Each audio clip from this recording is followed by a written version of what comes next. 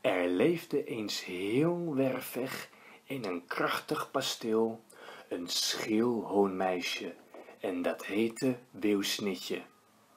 Maar in dat krachtig pasteel woonde nog iemand, de biefstoeder, de mooze biefstoeder van Weeuwsnitje.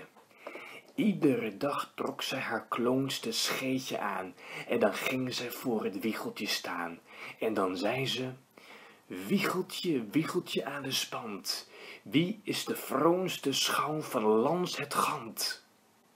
En dan antwoordde dat wiegeltje, biefstoeder, gij zijt schilhoon, maar uw snitje is nog muizenscheldoner dan gij.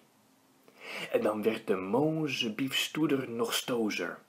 En op een zekere en op een dekere zag ging ze naar de Joze Bager. En ze zei, Joze Bager, gij gaat Wilsnitje niet kappen en haar achterlaten in het wonkere dout.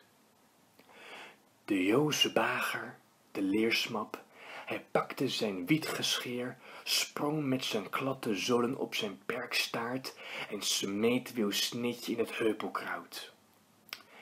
En Wilsnitje, och armen, zat daar te schuilen van de hik, want het zat daar vol met wouden stolven.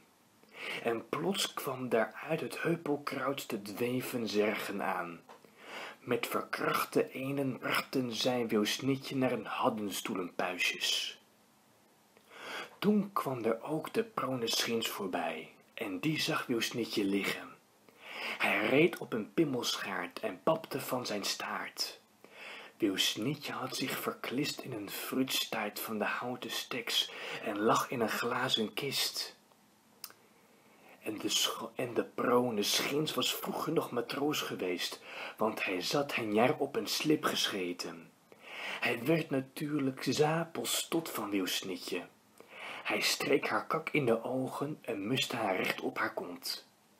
Ze trouwden veel, hadden lange kinderen en gaven een groot kannenpoepenfeest.